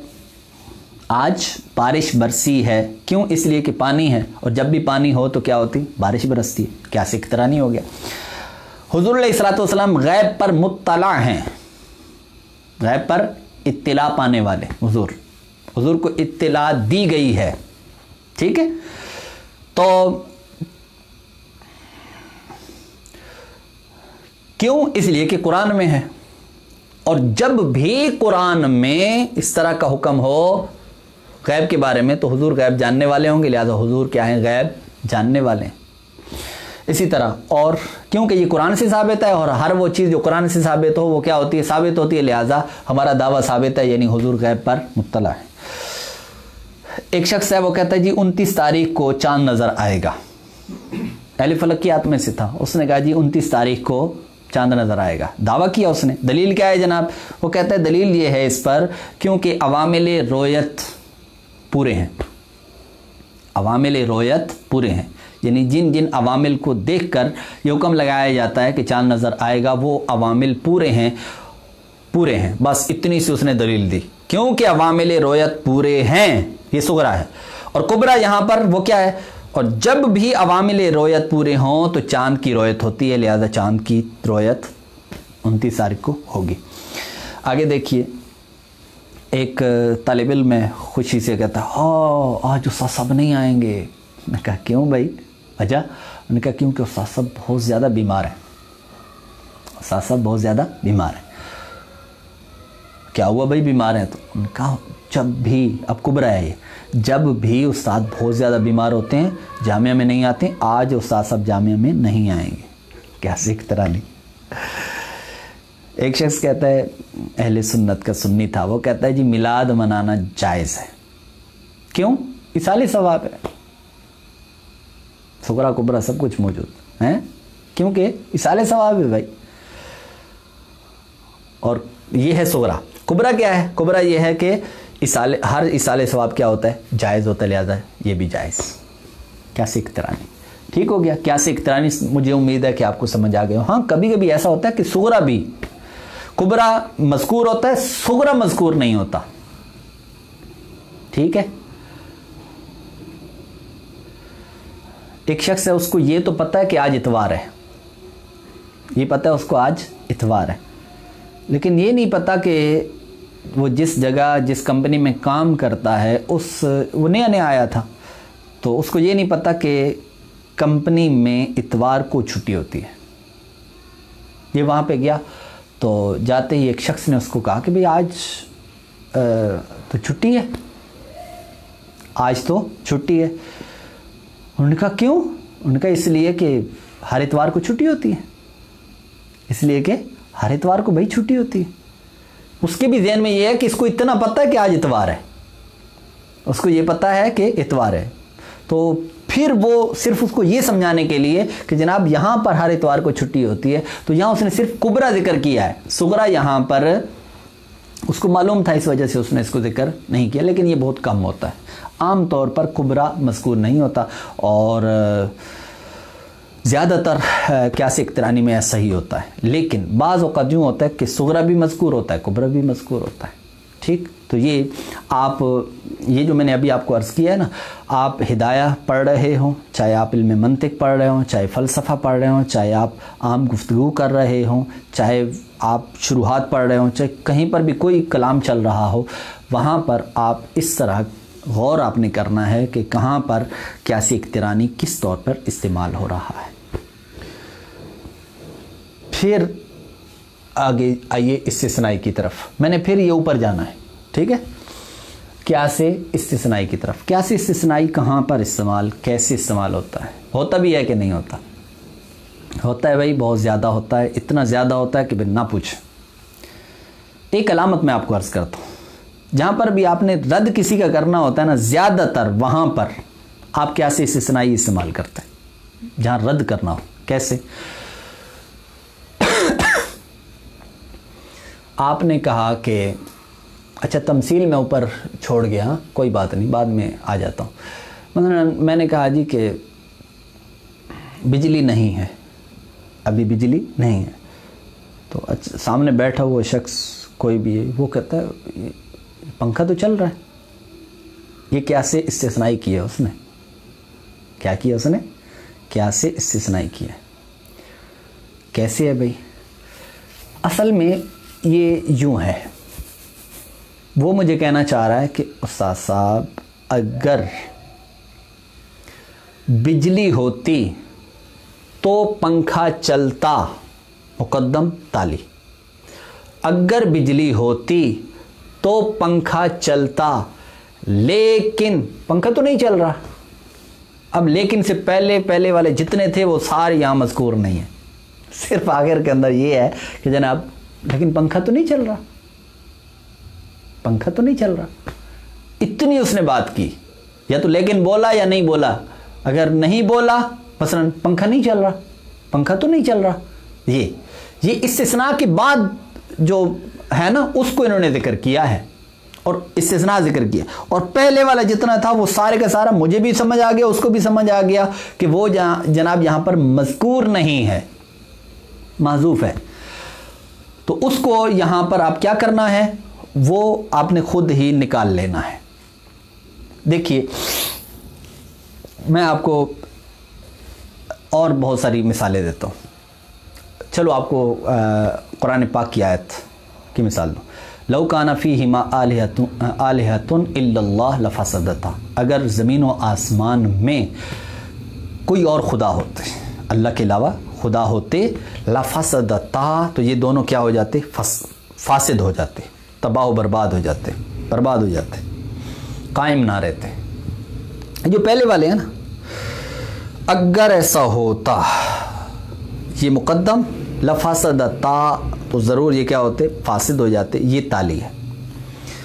اکثر طور پر یاد رکھیے گا، ہمارے کلام کے اندر استثناء میں یہ پورے کا پورا جو ہوتا ہے، اس میں جو استثناء ہوتا ہے، وہ ذکر نہیں کیا جاتا۔ جیسے یہاں اس آیت میں بھی اگر آپ دیکھیں تو یہاں پر ذکر نہیں کیا گیا، لیکن آپ بھی سمجھ گئے، میں بھی سمجھ گیا۔ سامنے والا سمجھ گیا۔ وہ کیا؟ کہ اگر اللہ کے علاوہ زمین و آسمان میں کوئی اور الہ ہوتے تو یہ فاسد ہو جاتا، لیکن یہ فاسد نہیں ہوئے۔ زمین و آسمان قائم ہے بھائی، لیکن یہ فاسد نہیں ہوئے۔ نہیں ہے، یہ استثناء ہے۔ نتیجہ کیا نکلے گا؟ نتیجہ یہ نکلے گا کہ عمر بھی نبی نہیں ہے۔ عمر نبی نہیں ہے۔ ٹھیک ہے؟ اور یہ بھی کر سکتے ہیں، دو صورتیں اس کی بن سکتی ہیں۔ وہ کیا؟ کہ عمر عمر، لیکن عمر نبی نہیں ہے۔ ٹھیک ہے؟ لیکن یہ جو تقاضا ہے حدیث کا، اس کے یہ خلاف چلا جائے گا۔ وہ یہ ہے کہ جناب، لیکن عمر نبی نہیں ہے تو نتیجہ یہ نکلے گا کہ حضور فرماتے میرے بعد کوئی نبی بھی نہیں ہے۔ ٹھیک ہے؟ اسی طرح اور مثالیں۔ اسی یہ جو ہم نے کہا نا کہ آج بارش برسی ہے، اسی کو ہم اسی مفہوم کو کسی اور سے انداز کر، کسی اور انداز سے بیان کرتے ہیں۔ کیسے اس سنائی میں؟ اگر بارش ہوتی تو فرش گیلا ہوتا، لیکن فرش گیلا نہیں، اس لیے بارش بھی نہیں برسی۔ کیسے اس سے سنائی اسی طرح بعض لوگ ایسے ہیں جو کہتے ہیں معاذ اللہ کہ اللہ تعالیٰ جھوٹ پر قادر ہے، امکان کذب باری تعالیٰ کے قائل ہیں۔ تو ان کا رد کرتے ہوئے ہمارے علماء نے یہ بات لکھی ہے کہ اگر کذب باری تعالیٰ، یہ اب استدلال کر رہا ہوں کیسے استثنائی پر، اگر کذب باری تعالیٰ ممکن ہوتا تو یہ نقص نہ ہوتا، لیکن یہ نقص ہے، لہذا کذب باری تعالیٰ بھی ممکن نہیں ہے۔ اسی طرح حضور کے زندہ ہونے پر ایک مثال، دلیل وہ کیا؟ کہ اگر باد وصال حضور زندہ نہ ہوتے تو آپ کی ازواج کو نکاح کی اجازت ہوتی، لیکن آپ کی ازواج کو نکاح کی اجازت نہیں، لہذا حضور زندہ ہیں۔ ٹھیک؟ یوں بھی کر سکتے ہیں۔ اگر حضور علیہ السلاۃ والسلام کی حضور وصال کے بعد زندہ نہ ہوتے تو آپ کی وراثت تقسیم ہوتی، لیکن آپ کی وراثت تقسیم نہیں ہوئی، لہذا حضور زندہ ہیں۔ ٹھیک؟ اسی طرح، اشعار کے اندر بھی بہت زیادہ استعمال ہوتا ہے کیسے استثنائی کا۔ اعلیٰ حضرت رحمۃ اللہ علیہ ارشاد فرماتے ہیں، یہ قصیدہ مراجیہ کے اندر۔ ستم کیا کیسی مت کٹی تھی۔ قمر وہ خاک ان کے رہ گزر کی۔ اٹھا نہ لایا کہ ملتے ملتے یہ داغ دیکھ نہ سب مٹے تھے۔ آپ چاند کو فرما رہے ہیں، اے چاند، تجھے کیا ہو گیا تھا میراج کی رات؟ کہ حضور کی سواری جب جا رہی تھی، تو وہاں سے وہ جو رہ گزر تھی، اس سے آپ تھوڑی سی مٹی اٹھا کر اپنے چہرے پر مل لیتے چاند کو اپنے چہرے پر مل لیتا۔ تو یہ جو تیرے چہرے کے داغ ہیں نا، یہ سارے مٹ جاتے۔ لیکن افسوس کہ تو نے ایسا نہیں کیا۔ اسے دلال دیکھیے گا۔ آپ فرماتے ہیں اٹھانا لایا کہ ملتے ملتے یہ داغ دیکھ نہ سب مٹے تھے۔ اگر تو اٹھا کے لاتا، وہ راہ گزر کی مٹی اگر تو اٹھا کے لاتا اور اپنے چہرے پر مل لیتا تو تیرے یہ داغ مٹ جاتے، لیکن اٹھا نہ لایا۔ یہ استثناء کے بعد والی استثناء بیان ہو رہا ہے۔ اٹھا نہ لایا، لیکن تو اٹھا کے نہیں لایا۔ کہ اگر اٹھا کے لاتا، چہرے پر ملتا، تو ملتے ملتے یہ داغ دیکھنا سب مٹے تھے۔ نتیجہ یہاں پر، آپ پر چھوڑ دیا۔ وہ کیا؟ وہ یہ ہے کہ اگر اٹھا کے لاتا، تو پھر یہ داغ تمہارے مٹ جاتے لیکن تو اٹھا کے نہیں لایا۔ نتیجہ یہ اس لیے تیرے داغ بھی مٹے نہیں، ابھی تک باقی ہیں۔ تو دیکھو یہ بھی کیسے استثنائی استعمال ہوا ہے۔ اعلیٰ حضرت رحمۃ اللہ علیہ کے بھائی حسن رضا خان رحمۃ اللہ علیہ۔ آپ ارشاد فرماتے ہیں، بے لقائے یار، ان کو چین آ جاتا اگر۔ بار بار آتے نہ یوں جبریل صدرہ چھوڑ کر۔ یعنی حضور کو ملاقات، حضور سے جو ملاقات ہے۔ اس کے بغیر اگر جبریل امین کو سدرا پر چین آ جاتا، اگر جبریل امین کو بغیر لکھائے یار چین آ جاتا، ٹھیک؟ یہ یہ کیا ہے؟ اپنا مقدم، اور پھر اگر بے لکائے یار ان کو چین آ جاتا، اگر تو بار بار آتے نہ یوں جبریل سدرا چھوڑ کر، یہ کیا ہے؟ تالی ہے۔ لیکن ہوا کیا ہے؟ لیکن استثناء یہاں معذوف ہے۔ وہ کیا ہے؟ لیکن وہ کیا ہے؟ سدرا کو چھوڑ چھوڑ کر واپس آ رہے ہیں۔ چھوڑ کے آ رہے ہیں۔ یہ استثناء ہے۔ تو نتیجہ یہ نکلے گا کہ ان کو حضور کو ملاقات بغیر ان کو چین بھی نہیں آتا تھا۔ تو دیکھو یہ کیسی استثنائی استعمال ہو رہا ہے۔ ٹھیک ہے؟ اگر بجلی ہوتی تو لائٹ جلتی، لیکن لائٹ نہیں ہے۔ لائٹ نہیں جل رہی، اس لیے بجلی نہیں۔ ٹھیک ہے، یہ تخلف ہو سکتا ہے۔ یہ اب کہیں اور پھر اس میں ہم چیک کریں گے کہ آس ہے استقرا ہے یا پھر تمثیل ہے۔ میں نے عرض کیا نا کہ یہ یہ جو بیچ میں آ رہے ہوتے ہیں نا، یہ چیزیں، اس کو ہم نے اب وہ ان کی پہچان کرنی ہے کہ وہ کیا ہے، تمثیل ہے یا استقرا ہے، کیا ہے۔ یہ جتنے میں نے بنائے ہیں، ان کے اندر بعض جگہوں پر تو کیا استعمال ہوا ہے، بعض جگہوں پر تمثیل استعمال ہوا ہے، بعض جگہوں پر استقرا استعمال ہوا ہے۔ ٹھیک ہے؟ تو اس لیے یہ آگے جا کر میں ان کی پہچان کرواتا ہوں۔ تو یہاں تک بات ہو گئی۔ اب اس کے بعد ہے۔ اچھا اب کیا ہوتا ہے؟ کیا سے استثنائی کے اندر، کیا سے انفصالی؟ یہ اس کی دو قسمیں ہوتی ہیں، اتصالی اور انفصالی۔ یہ ابھی جتنی میں نے مثالیں دی ہیں، یہ ساری کی ساری تھیں اتصالی کی یعنی متصل استعمال ہوئے۔ ہیں اور پھر انفصالی بھی استعمال ہوتا ہے اور بہت زیادہ استعمال ہوتا ہے۔ کیا ہوتا ہے یہ؟ بہت زیادہ استعمال ہوتا ہے۔ کیا سے؟ استثنائی، انفصالی۔ اب وہ پیچھے جو آپ پڑھتے رہے ہیں، یا تو یہ، یا پھر یہ، یا پھر یہ، یا پھر یہ۔ یہ آ، یہ اب آپ اس کو دیکھیے گا کہ اس کا استعمال کیسے ہوتا ہے۔ اب دیکھو، مثلا ایک شخص ہے، وہ اسی طرح اللہ تبارک و تعالیٰ کی امکان باری تعالیٰ کا کس امکان باری تعالیٰ کا وہ قائل ہے۔ وہ کہتے ہیں جی کہ اللہ تبارک و تعالیٰ معاذ اللہ جھوٹ بول سکتا ہے۔ اس پر ہم رد کرتے ہیں کیاسی استثنائی انفصالی سے۔ اب ہمارا استدلال دیکھیے گا۔ ہم کہتے ہیں کہ اگر یہ ممکن ہو تو دوال سے خالی نہیں۔ اگر یہ ممکن ہو کسب باری تعالیٰ ممکن ہو، تو پھر دو حال سے خالی نہیں۔ وہ کیا؟ کہ یہ نقص ہوگا یا نہیں ہوگا؟ نقص ہوگا یا نہیں ہوگا؟ لیکن یہ نقص ہے۔ لیکن یہ نقص ہے۔ یہ استثناء ہو رہا ہے۔ کس کا ہو رہا ہے استثناء؟ نقیز تالی کا۔ تو جو نتیجہ آئے گا وہ نقیز مقدم آئے گا۔ وہ کیا؟ وہ یہ ہے کہ یہ یہ ممکن بھی نہیں ہے۔ ٹھیک ہے؟ اگر امکان باری تعالیٰ، یہ کس امکان باری تعالیٰ، تحت قدرت باری تعالیٰ یا امکان ہوتا، تو پھر نقص، یہ دوار سے خیر، نقص ہوگا یا نہیں؟ اگر لیکن یہ نقص ہے، لہٰذا یہ پھر نتیجہ کیا آئے گا؟ کہ پھر جب نقص ہے تو پھر تحت باری تعالیٰ یہ نہیں، یہ محال ہے۔ ٹھیک ہے؟ یہ ممکن نہیں ہے۔ تو اسی طرح اور بھی آپ بہت ساری مثالیں بنا سکتے ہیں کہ آپ اکثر طور پر ایسا بولتے رہتے ہیں کہ بھائی دیکھو، نبی کریم علیہ السلاۃ والسلام کی حیات پہ بات کرتے ہیں کہ حضور علیہ السلاۃ والسلام قبر میں زندہ ایک شخص کہتا ہے، زندہ نہیں۔ ہم کہتے ہیں یہ زندہ ہیں ٹھیک؟ اب میں کہتا ہوں کہ یہ دو حال سے خالی نہیں۔ کہ حضور علیہ السلاۃ والسلام کا باد وصال کسی سے حالت بیداری میں ملنا ثابت ہوگا یا نہیں۔ لیکن حضور کا باد وصال کسی سے ملنا ثابت، حالت بیداری میں ملنا ثابت ہے، ٹھیک ہے؟ تو لہٰذا اب نتیجہ کیا ہوگا؟ نتیجہ یہ ہوگا کہ جناب جو آپ نے نقیز مقدم، وہ کیا؟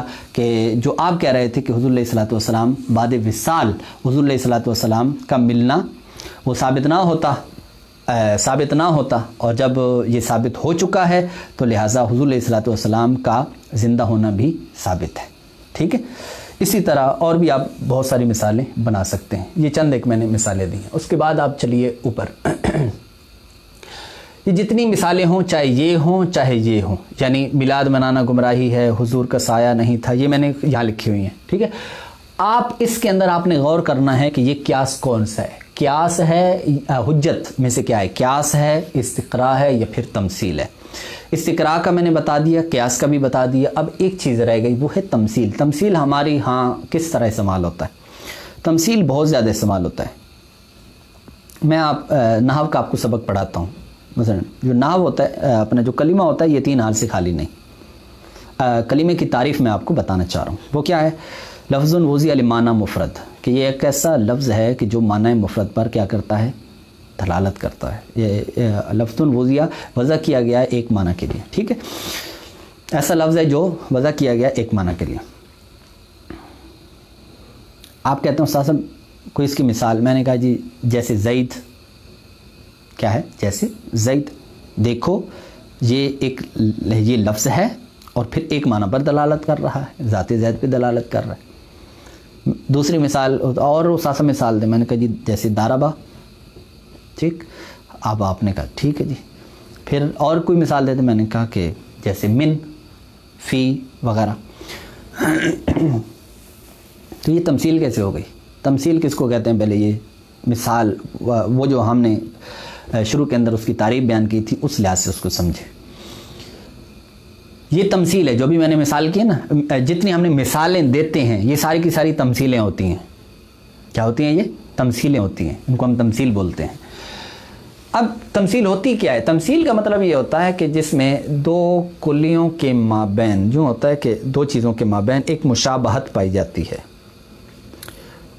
اور وہ جو مشابہت ہوتی ہے، جو مشابت پائی جاتی ہے، وہ مشابہت وہ ایک جزی کی دوسری جزی پر ہوتی ہے۔ کیسے؟ جیسے ہم کہتے ہیں جناب، بھنگ حرام ہے۔ بھنگ کیا ہے؟ حرام ہے۔ کہتے ہیں کیوں؟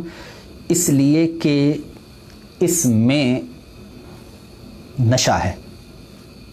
اس لیے کہ اس میں نشہ ہے۔ ٹھیک ہے؟ اس وجہ سے یہ کیا ہے؟ حرام ہے۔ اب یہ جو آپ کہہ رہے ہیں کہ اس میں نشہ ہے، تو یہ آپ یہ آپ سے پوچھوں کہ جناب اس میں اگر نشہ ہے تو کیا ہوا؟ تو آپ کہتے ہیں اس لیے کہ ہر نشہ کیا ہوتا ہے؟ وہ حرام ہوتا ہے۔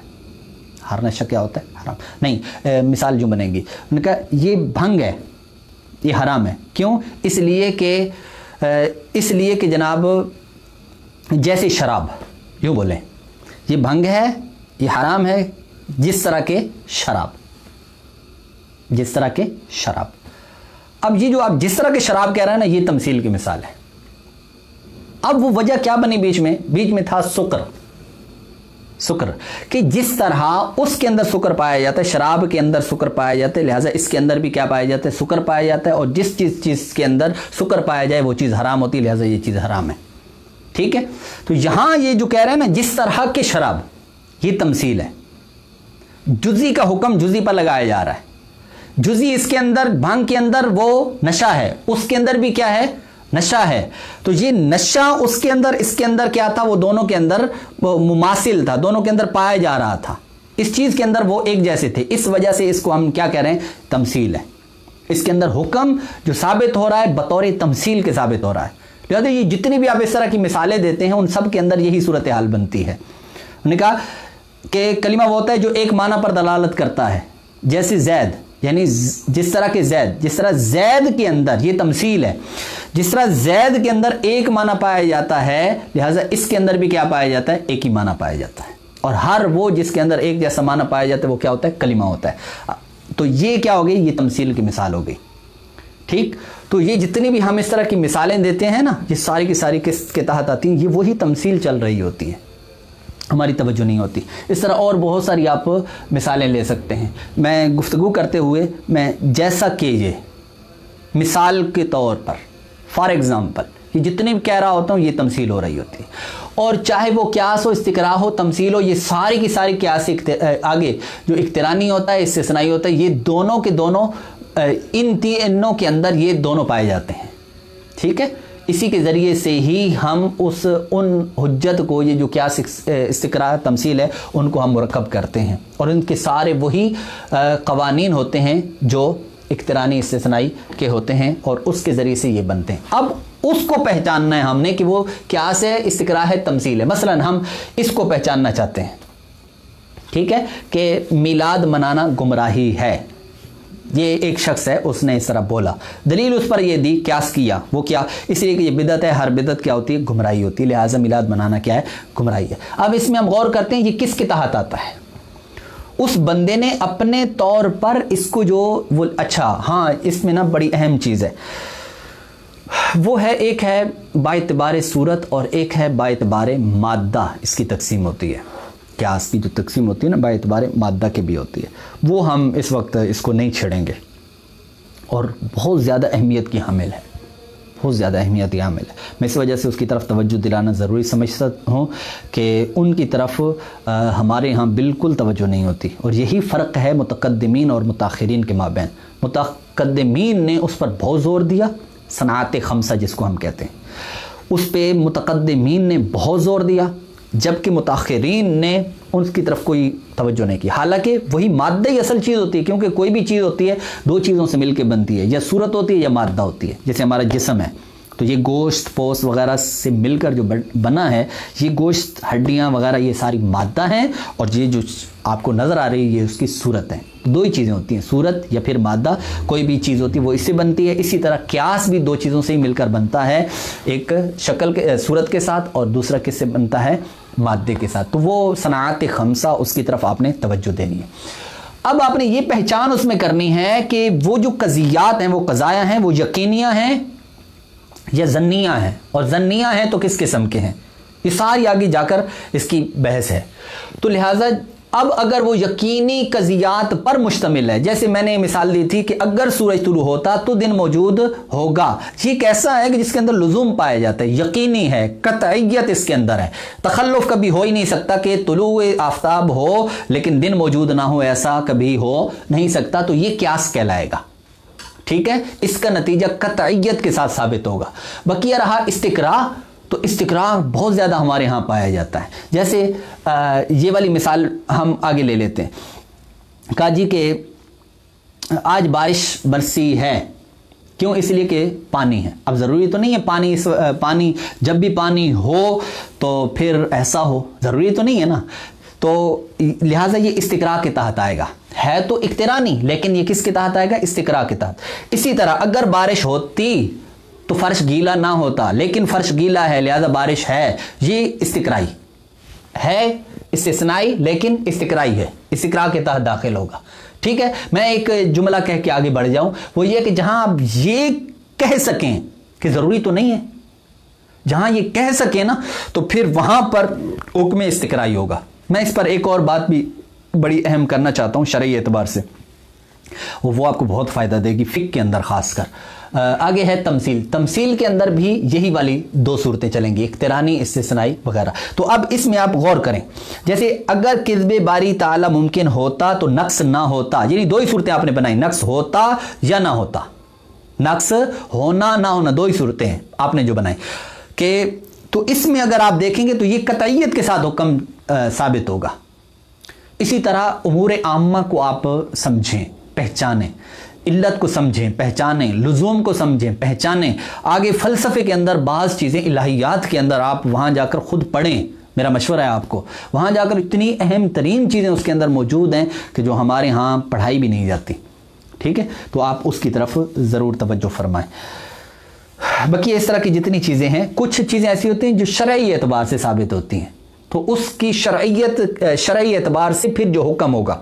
اب شرعی اعتبار سے اگر قطعیت کا حکم ہے، جیسے قرآن پاک کا قرآن پاک کی آیت سے ایک چیز ثابت ہے، اور وہ قطعی ثبوت تو ہے ہی ہے، قطعی دلالت بھی ہے، تو پھر اس کا حکم بھی قطعیت کے ساتھ ثابت ہوگا۔ جیسے حضور علیہ السلاۃ والسلام کی بشریت ہے، تو نس قطعی سے ثابت ہے، نس قطعی سے ثابت ہے، قطعی دلالت ہے۔ قطعی ثبوت تو ہے ہی ہے۔ تو لہٰذا اس کا جو انکار کرے گا وہ کفر ہوگا۔ تو یہ دلیل قطعی ہو گئی۔ اور اگر حضور کی جیسے نورانیت ہے، حضور علیہ السلاۃ والسلام کی نورانیت، حضور کی نورانیت کا اگر کوئی انکار کرتا ہے حصی طور پر، تو یہ کیا ہوگا؟ یہ گمراہی میں جائے گا۔ کیوں؟ اس لیے کہ یہ کیا ہے؟ زندگی دلالہ ہے۔ نور نور کا لفظ جو ہے، یہ کیا ہے؟ یہ محتمل ہے۔ کس کے اندر کیا مراد ہے؟ تو لہٰذا اس وجہ سے شرعی اعتبار سے بھی اگر اس کو کوئی بھی قضیہ بنے گا تو اس کے لیے کیا ہوگا؟ وہ ہم نے دلیل دیکھنی پڑے گی۔ جس قسم کی دلیل ہوگی، اس لحاظ سے اس کے اندر آپ وہ قیاس جاری ہوگا۔ اچھا اب ایک اور بڑی اہم ترین بات۔ ہمارا اصول فک کے اندر ہم قیاس پڑھتے ہیں۔ اصول فک کے اندر ہم کیا پڑھتے ہیں؟ قیاس پڑھتے ہیں۔ اس قیاس میں جو اصول فک والا قیاس ہے فقی اعتبار سے اصولی اعتبار سے وہ والا جو قیاس ہوتا ہے، اس میں جو اکثر طور پر تمثیل ہی استعمال ہوتی ہے۔ کیا ہوتی ہے اس میں؟ تمثیل استعمال ہوتی ہے۔ اس کو ہاں، وہ تمثیل کے تحت اس کو لیا جاتا ہے۔ جیسے میں نے شراب والی مثال دی ہے۔ تو یہ ساری اس طرح کی جتنی بھی علت جس کے اندر آتی ہے نا، جس میں علت آتی ہے، وہ ساری کی ساری تمثیل میں داخل ہوتی ہیں۔ ٹھیک ہے؟ علت کی وجہ سے جو حکم لگایا جاتا ہے۔ اچھا ایک اہم بات میں عرض کر رہا تھا شرعی اعتبار سے اصول فک کے لحاظ سے وہ آپ کو میں نے کہا فائدہ دے گی۔ دیکھو، کیا استقراء کا ہماری فک کے اندر یا ہماری شریعت کے اندر اس کا کوئی عمل دخل ہے؟ کیا کوئی احکام وغیرہ اس کے ہیں، متعلق ہیں ہمارے ساتھ؟ ہاں جی بالکل ہیں۔ کس طرح؟ مثلا ایک شخص ہے، اس نے کوئی بدکاری کی، زنا کیا، ثابت نہیں ہوا۔ اس کے لیے کیا ہو گیا کہ چار گواہ آ گئے، قاضی یہ شرح مل گیا اور قاضی شرح کے سامنے اس نے چاروں نے گواہی دے دی۔ اب حکم ثابت ہوا۔ کیا حکم؟ حکم یہ ہوا ثابت یہاں پر کہ جناب اس بندے نے زنا کیا ہے۔ چار نے گواہی دے تو ثابت کیا ہو گیا، اس شخص نے اس نے زنا کیا ہے۔ یہ جو حکم آپ لگا رہے ہیں نا، اس نے یہ کام کیا ہے۔ یہ والا حکم استقرائی ہے۔ سمجھ آ رہی؟ ہے یہ کیا ہے؟ حکم استقرائی ہے۔ کیسے حکم استقرائی ہے؟ وہ اس لیے کہ یہاں پر جو چار افراد ہیں، وہ گواہی دیں تو شریعت نے یہ نافذ فرمایا۔ کیونکہ اب قطعیت کی کوئی صورت نہیں ہے اس کے ثبوت کے لیے۔ اس کی ایک صورت تھی۔ وہ کیا ہے؟ اقرار۔ کہ اقرار کر لے تو بات ختم ہو جائے۔ لیکن جب انکار کر رہا ہے تو پھر چار گواہوں کی ضرورت ہوگی۔ اور جب چار گواہوں کی مخصوص صورت پر وہ مشاہدہ کرنا، دیکھنا، بتائیں جو شریعت نے ہمیں گواہی کا حکم دیا۔ اس لحاظ سے وہ بتائیں تو اب یہ حکم استقرائی ہوگا۔ کیسے اس کی شکل بنے گی؟ وہ اس لیے یہ شکل جو بنے گی کہ جناب چار کیونکہ اس شخص نے یہ کام کیا ہے، اس لیے کہ اس کے کام کی چار حضرات نے گواہی دی ہے۔ اور جب بھی چار حضرات وہ کیا کریں؟ اس کی گواہی دیں تو پھر اس سے کیا ہوتا ہے؟ حکم کا ثبوت ہوتا ہے، لہٰذا اس کے لیے اس حکم کا ثبوت ہے۔ ٹھیک ہے؟ تو یہ کیا سے اقترانی پہ چلا گیا؟ شکل اول بنی ہے، سب کچھ وہ شرائط وغیرہ پوری ہوئی اور اس کے لیے جو حکم ثابت ہوا ہے، وہ کون سا ہوا ہے؟ استقرا کا۔ کون سا حکم ہے یہ؟ استقرا کا۔ آپ کو ایک اور بات بھی عرض کروں۔ آپ نے ایک جملہ سنا ہوگا۔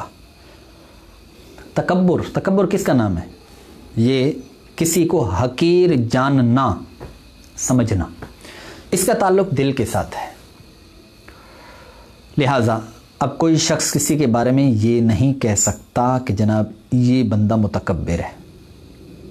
لیکن یہ جملہ علل اطلاق نہیں ہے۔ کیا ہے؟ اس کے لیے آپ کو اگر کوئی کرینہ واضحہ مل جاتا ہے کہ جس سے واضح طور پر یہ پتہ چلے کہ جناب یہ بندہ تکبری کر رہا ہے۔ ٹھیک ہے؟ اب وہ کرینہ واضحہ کیا ہونا چاہیے؟ وہ کیا ہوتا ہے؟ اصل میں یہ جو کرینہ کی شرط لگائی ہے، وہ کیوں لگائی ہے؟ یہ بھی آپ سمجھیے گا۔ اصل میں وجہ اس کی استقرا ہے کہ وہ چاہتے ہیں کہ کرینہ واضحہ ایسا ہو کہ جس پر ہم اکثر کا حکم لگا سکیں۔ کہ اکثر طور پر جس بندے کے اندر اس طرح کی صورتحال پائی جائے تو پھر وہ تکبر کرنے والا ہوتا ہے۔ اکثر پر اس کا حکم ہو تو پھر اس پہ حکم لگے گا ذن غالب کا۔ اور اب اگر کوئی شخص اس کرینہ واضحہ کی بنیاد پر کسی کو متکبر کہتا ہے تو چونکہ بغیر دلیل کی بات نہیں کر رہا اور ذن غالب خود شریعت کی طرف سے ہے، اس کا اعتبار ہے، جیسے ابھی میں نے یہ مثال دی ہے۔ تو جب اس کا ہے، تو اس وجہ سے اب اس کو بغیر دلیل کے گفتگو کرنے والا نہیں کہیں گے، اس کو گناہ گار بھی نہیں بولیں گے کہ یار یہ شخص گناہ کر رہا ہے۔ کیوں؟ اس لیے کہ اس نے کرینہ واضحہ اس کے پاس موجود تھا، جس کی بنیاد پر اس نے یہ حکم لگایا۔ تو یہ ہماری شریعت کے اندر بہت جگہوں پر، جہاں پر بھی گواہیں، گواہ پائے جاتے ہیں نا جہاں پر بھی گواہ، اس چیز کے لیے گواہ، اس چیز کے لیے گواہ، اس چیز کے لیے گواہ یہ جتنے گواہ والی صورتیں ہیں وہ ساری کی ساری استقرام میں آتی ہیں۔ ٹھیک ہے؟ تو مجھے امید ہے کہ یہ آج کا جو لیکچر ہے، یہ آپ کو سمجھ آیا ہوگا۔ باقی چند ایک اور باتیں بھی بیچ میں رہ گئی ہیں، لیکن وہ آپ پر میں چھوڑ دیتا ہوں۔ مثلا، اشکال اربا ہیں، ان کی نتیجہ دینے والی جو ضربیں ہیں، وہ کون کون سی ہیں؟ پھر ان کی شرائط، اور پھر اسی طرح جو